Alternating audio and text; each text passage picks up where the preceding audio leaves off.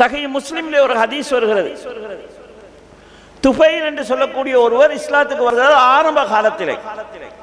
வந்து மக்காவில் இருப்பதற்கு ரசூல் சல்லா அனுமதி கேட்குறாங்க. நபி சல்லா பாதுகாப்பு தர முடியாதுன்னு சொல்லிட்டாங்க. அப்ப அவர் அவரோட ஊருக்கு போயிட்டார். நபி ஸல்லல்லாஹு அலைஹி அவர்கள் மதீனாவுக்கு வந்து விட்டார்கள் என்ற செய்தி கேள்விப்பட்டதும் அவரும் அவருடைய நண்பரும் மதீனாவுக்கு வராங்க இஸ்லாத்தை ஏற்று. இப்ப மதீனாவுக்கு வந்த புதுசில் அவருடைய நண்பருக்கு கடுமையான நோய் ஏற்பட்டு விட்டது அந்த நோயின் தாக்கம் தாங்க முடியாமல் அவர் தற்கொலை செய்து கொண்டார். யாரு? அல்லாஹ்வுடைய தூதர் ஆரம்ப காலத்தில் இஸ்லாத்தை ஏற்று ஹிஜ்ரத் செய்து வந்த சஹாபி ஒருவர் தற்கொலை செய்து கொண்டார். இப்படி சொல்லுகிற போது சஹாபாக்கள் பத்தி தப்பெண்ண வந்து விடக்கூடாது. ஏன்னு சொன்னால் தற்கொலை பற்றிய விவரங்களை ரசூசலாம சொல்வதற்கு முன்னால் இது நடந்திருக்கலாம். அல்லது சொன்ன விஷயம் அவருக்கு தெரியாம இருந்திருக்கலாம். ஏன்னா அவர் ரசூல்லாவோட இருக்கல. மக்காக்கு வந்து இஸ்லாத்தை ஏத்தாங்க. ரசூசலாம் இங்க இருக்க வேணாம் பாதுகாப்பு இல்லைன்னு சொல்லிட்டாங்க. அவங்க அவங்களோட ஊருக்கு போயிட்டாங்க. ரசுல்லா மதீனாவுக்கு வந்தாங்க உடனே ரசுல்லா மதீனாவுக்கு வந்துட்டாங்கன்னு அங்க வந்தாங்க. மதீனாவுடைய வெப்ப சூழல் அவங்களுக்கு பிடிக்கல. பொதுவா அந்த காலத்துல வந்த சகாபாக்கள் எல்லாருக்கும் மதீனாவுக்கு வந்த போது சுகையினம் ஏற்பட்டது. அதுல அவருக்கு தாங்க முடியாம தற்கொலை செஞ்சிட்டாரு. அந்த தற்கொலை செய்து மரணித்த அந்த சகாபியை அவருடைய கூட்டாளி கனவுல காண்றார். கனவுல அவர் நல்ல அழகா இருக்கிறாரு. அவருடைய கையில ஒரு காயம் ஏற்படுத்தி அதனாலதான் அவர் தற்கொலை செய்து கொண்டார். அந்த ரத்தம் ஓடி அவர் மரணித்தார்.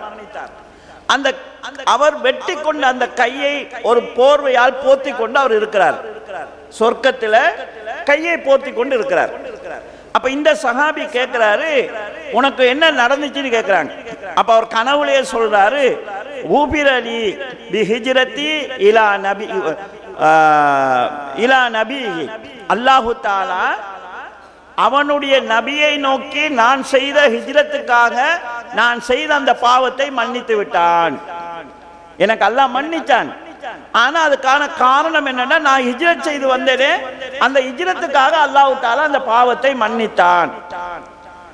இந்த செய்தி அப்ப உன் கைக்கு என்ன நடந்தது என்று கேட்கிற போது நீயாக சீரழித்த உன் கையை நாங்கள் சீராக்க மாட்டோம் என்று அல்லாஹ் சொல்லிவிட்டான். நீ தானே வெட்டி கொண்டாய் அந்த கையை மட்டும் நாங்கள் சரி பண்ண மாட்டோம் என்று அல்லாஹ் சொன்னான் என்றது நபி சொல்லாஹ் அலேஸ்லாம் அவர்கள். அவருடைய அந்த கையையும் சுகமாக்குவதற்காக அல்லாஹ்விடத்தில் துஆ செய்தார்கள். இமாம் நவவி ரஹ்மமுல்லா அவர்கள் சஹி முஸ்லிமில் இந்த ஹதீஸை பதிவு செய்துவிட்டு நபி ஸல்லல்லாஹு அவர்கள் அவருடைய பாவ மன்னிப்புக்காக துவா கேட்டிருக்கிறார்கள். எனவே தற்கொலை செய்து கொண்டவனை காபில் என்று சொல்லாதீங்க. காபிலா இருந்தா துவா கேட்டிருக்க மாட்டாங்க. அதே நேரத்தில் தற்கொலை செய்து கொண்ட குறித்த நபரை குறித்து இவர் நரகவாதி என்று சொல்லக்கூடாது என்கிற தகவலை சொல்கிறார். இது மார்க்க ரீதியிலே உள்ள சில விஷயங்களை சுருக்கமாக இந்த இடத்தில் சொல்லி காட்டினேன் அன்புக்குரிய சகோதரர்களே இந்த தற்கொலை நடப்பதற்கான காரணங்கள் என்ன? குறைந்த நேரத்தில் சுருக்கமான சில விஷயங்களை சொல்கிறேன். சில நேரங்களில் நாங்களும் தற்கொலைக்கு காரணமாக இருப்போம். நம்ம யாராவது ஒருவர் இது சமூக பிரச்சனை இது. தற்கொலை ஒருவர் செய்து கொண்டா அவரை மட்டும் விமர்சித்து விட முடியாது. நாங்களும் அதற்கான காரணமாக இருப்போம். எப்படி காரணமா இருப்போம்? சில நேரங்களில் சில தவறுகள் செய்வாங்க மனிதன். யாரும் தவறு செய்யறதுக்கு முன்னால தவறை கண்டிக்கலாம். தவறு செய்து விட்டால் அவன் திருந்துறதுக்கான வாய்ப்பை தான் கொடுக்கணும். கேவலப்படுத்துறதுக்கான வாய்ப்பை கொடுக்கறதில்ல இஸ்லாம். நான் ஒரு தவறை செய்யல. தவறை கடுமையா ஏத்து பேசலாம். செஞ்சிட்டேன் என்று சொன்னா அதுக்கு பிறகு நான் அல்லாட்ட மன்னிப்பு பெறுவதற்கான வழி என்ன என்பதை தான் காட்ட வேணுமே தவிர தவறு செய்தவனை கேவலப்படுத்தக்கூடாது. ஏனென்றால் எனக்கும் இன்றைக்கு ஆயுஸ் இருக்குது. அடுத்த கட்டத்தில் நானும் அது போன்ற ஒரு தவறை செய்ய வேண்டிய நிர்பந்தத்துக்கு ஆளாகலாம். என் புள்ள அப்படி செய்யலாம். என் மனைவி அப்படி செய்யலாம். எங்களுடைய விதி என்னன்னு எங்களுக்கு தெரியாது. யாராவது ஒரு தவறு செஞ்சோன்னே எல்லாரும் என்ன செய்யணும் இப்படி செஞ்சு போட்டு வாழ்றானே. இவன் எல்லாம் இனத்துக்கு வாழணும்? செத்து தொலைய வேண்டியதுதானே. நான் தான் தூக்கு போட்டு செத்துருவேன். இப்படி ஒவ்வொருத்த இப்படி பேசக்கூடியவங்க இருக்காங்க. தவறுடைய வெறுப்பை காட்டுறது.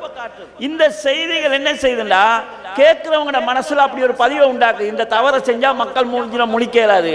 எதுக்கு மக்கள் மூஞ்சில முழிக்கிறத பத்தி யோசிக்கணும். நான் ஒரு தவறு செஞ்சுட்டேன்னு வைங்க. அல்லாத்து செஞ்ச தவறு. உங்க யாரை பத்தி நான் கவலைப்பட வேண்டிய அவசியம் இல்லை. அல்லாட்ட நான் தௌபா கேட்டுட்டேன்னு சொன்னா அல்லாஹ் மன்னிக்கிறேன்னு சொல்றாங்க.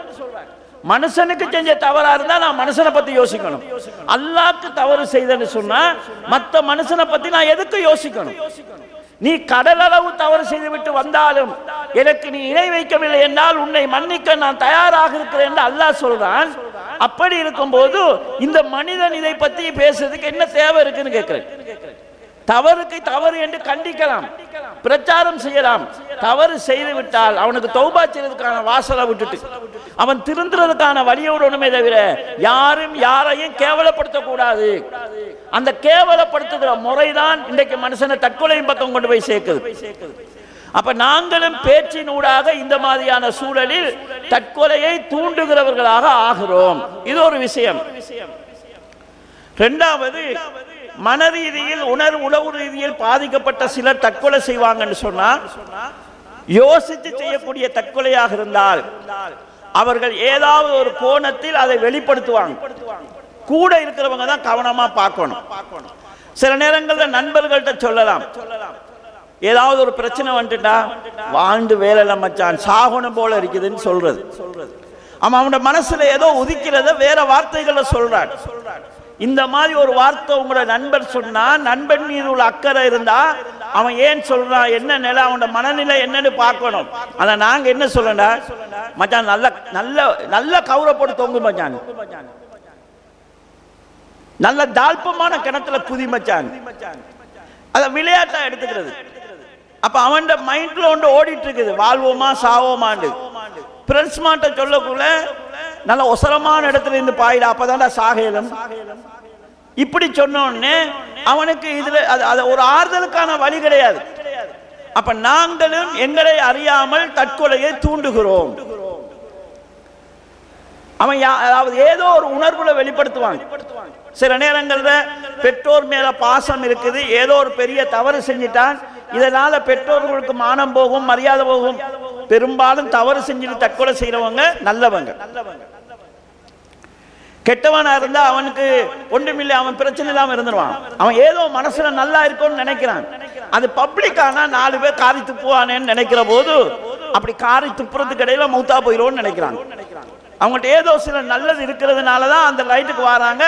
அறிவீனமாக மார்க்க தெளிவு இல்லாததுனால. சில நேரங்களில் வேறு வார்த்தைகள் அவங்க நடைமுறைகள வெளிப்படுத்தலாம். வளமையா உம்மாக்கு பக்கத்துல இருந்து தின்னாதவர் ஏதோ சோகமான நேரத்துல உம்மாக்கு பக்கத்துல இருந்து சாப்பிடுறாருன்னா சில நேரங்கள்ல அவர்கிட்ட அப்படியான ஃபீலிங் ஒன்று வந்திருக்கலாம். கடைசியா ஒருக்க உமா கிட்ட இருந்து தின்னுவோம். உம்மாட வாயால ஒரு சோறு வாங்கி தின்னுட்டு போவோம். அல்லது மனைவியோட அழுகிற மாதிரி பேசாதவர் ஏதோ ஒரு விஷயத்துக்காக அது பேசுகிற போது அழுகிறாருண்டா இவருக்கு ஏதோ ஒரு பின்னணி ஒன்று வருகிறது. இது இது இது கடைசி சந்திப்பை ஆக்கி கொள்ற மனசுல வந்துதான் அப்படி ஆகுது. யாராவது நண்பர்கள்ட்ட பேசும்போது இதுக்கு பிறகு சந்திக்க கிடைக்குதா இல்லையா? இந்த மாதிரி ஏதாவது ஒரு துணியில அவங்க வெளியிடுவாங்க. தற்கொலை எண்ணம் உள்ளவர்கள் ஏதாவது ஒரு துணியில அவங்களுக்கு நெருக்கமானவங்ககிட்ட தான் சொல்லுவாங்க. கூட இருக்கிறவங்களோட விளையாடுறது மட்டுமல்ல பிரின்சிப் நக்கல் பண்றது மட்டுமல்ல பிரின்சிப் அவனுக்கு பிரச்சனை வர நேரத்தில் அவன் அதுல இருந்து தான் உண்மையான நட்பு. எனவே நண்பர்கள் அவர்களுக்கு தெரியாமல் தற்கொலைக்கு காரணமாக இருக்கக்கூடிய சூழல் இருக்குது. யாராவது அப்படி நொந்து போய் பேசுனா அவன் ஆராத்த பாருங்க. சில நேரங்களில் சிலர் பேசுவாங்க பிரச்சனைகளை பேசுவாங்க. அப்படி பேசும்போது நம்மகிட்ட இருக்கக்கூடிய ஒரு பலகீனம் என்னன்னா உங்களோட மேல நான் இரக்கமா இருக்கிறேன்னு காட்டோம்னு நாங்க நினைப்போம். அவனுக்கு தீர்வு சொல்றதல்ல. உங்க விஷயத்துல எனக்கு அக்கறை இருக்குதுன்னு காட்டுறதுக்காக ஓவரா எட் பண்றது. ஓவரா நடிக்கிறது.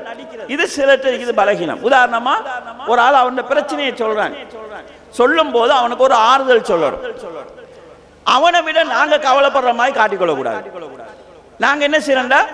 உன்னோட நான் இறக்கமாகிறேன்னு காட்டிக்கொள்றதுக்கு ஏண்டா வாப்பா? உனக்காடா இப்படி ஒரே வரணும் உனக்கு வந்த சோதனை யாருக்குமே வரலையே. இப்படி எல்லாம் அவனு சொல்லக்கூடாது. இது வா- எல்லாருக்கும் வார கஷ்டம் தான் இதுதான் நான் வாழ்க்கை. இந்த கோணத்துல தான் பேசணும். சில நேரங்கள் பெற்றோர்கள் இதுக்கு தூண்டுதல் அமைகிறாங்க பரீட்சை. புள்ள பரீட்சை எழுத போகுது. நம்ம புள்ளைய படிக்க வைக்கிறதுக்காக உமா அப்பா சில வார்த்தை சொல்லுவாங்க. நீ மட்டும் ஒழுங்கா பாஸ் ஆகாட்டி என்னை மூஞ்சிலே முடிக்காது நீ ஒழுங்கா பாஸ் ஆகாட்டி நீ எனக்கு பிள்ளையும் இல்லை நான் உனக்கு வாப்பாவும் இல்லை.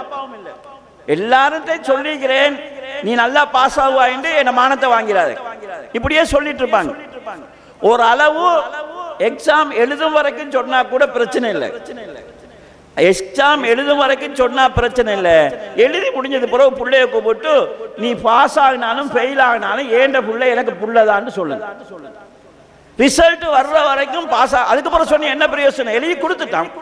பாஸ் எழுதுனதுக்கு தான் மார்க்ஸ் வர போகுது நீ பாஸ் ஆகாட்டி என்ன புள்ள இல்லை? நான் நீ பாஸ் ஆகாட்டி நான் உனக்கு வாப்பா இல்லை நான் உனக்கு உம்மா இல்லைன்னு தொடர்ந்து சொல்லிட்டு இருந்து அந்த புள்ள ஃபெயில் ஆகுனா என்ன நினைப்பாங்க எப்படிதான் என் உம்மாட முகத்தில் முழிக்கிறது? ஏன்னா உம்மா இவ்வளோ நம்பிக்கை. இதனால பிள்ளைகள் தற்கொலை செஞ்சு கொள்ளுது இந்த ஓ லெவல் ரிசல்ட் வெளியாகிற டைம்ல பார்த்தா தற்கொலைகள் அதிகமாகுது. ஏ லெவல் ரிசல்ட் வெளியாகுது அது கூடுதலாக பொம்பளை பிள்ளைகள். தற்கொலைகள் நடக்குது. அந்த எக்ஸாம் எழுதும் வரைக்கும் படிக்க தூண்டுறதுக்காக சொன்னாலும் பரவாயில்ல. எக்ஸாம் எழுதி முடிஞ்சா நீ ஒன்பது எஃப் எடுத்தாலும் ஏண்ட புள்ளடா நீ? அதுக்கப்புறம் புள்ள பெயிலான என்ன செய்யறது அடுத்த கட்டத்துக்கு அந்த புள்ளைய நகர்த்தணும். அப்ப இந்த மாதிரி சில நேரங்களில் எங்களுடைய பேச்சுக்கள் தூண்டுதலாக இருக்குது தற்கொலையை சமூகம் தான் சேர்ந்து தூண்டி கொண்டிருக்கிறது என்கிறத சொல்றதுக்காகத்தான் இந்த செய்திகளை நான் சொன்னேன்.